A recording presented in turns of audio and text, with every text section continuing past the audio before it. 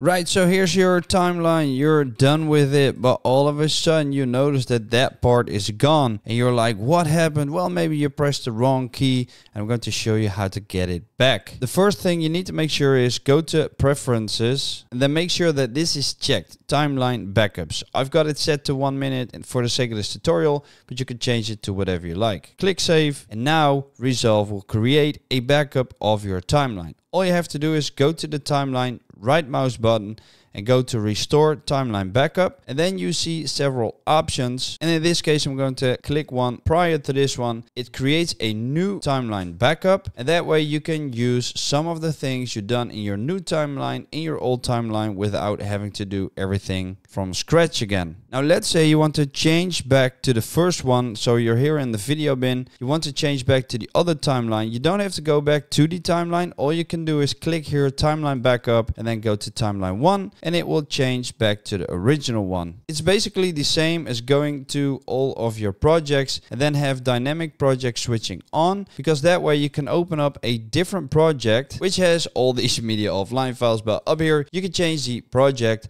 just as you can change the timeline over here.